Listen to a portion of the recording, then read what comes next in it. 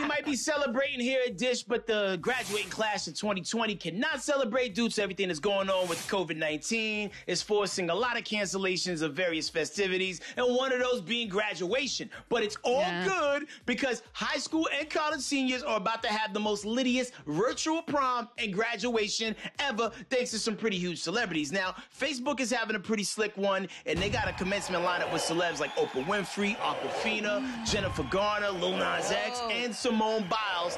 And Wow. coming through with the speeches, uh, they're gonna be coming through with the speeches, and Miley Cyrus is gonna pop off a performance virtually, so everybody will be safe and stay dry. Wow, I love that. That's pretty good. Now, YouTube will not be uh, stomped on in this situation. They're having a Dear Class of 2020 bash, and you could catch the Obamas headline in that situation. Lady Gaga is going to give a speech, and there's going to be special appearances being made by Alicia Keys, Kerry Washington, Zendaya, and more.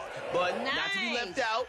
Cleveland's finest, LeBron James, him and his family foundation will be bringing you President Obama's commencement speech Wow. with the one hour primetime special called Graduate Together, which is going to be airing on Fox and three other big networks May 16th at 8 p.m. Eastern Standard Time. And this is- seems like actually this is better than the real thing. Uh, yeah. I can tell you one good thing about doing it virtually. All the black families will not be interrupting with their cheers when their child go across the stage. Okay. Okay?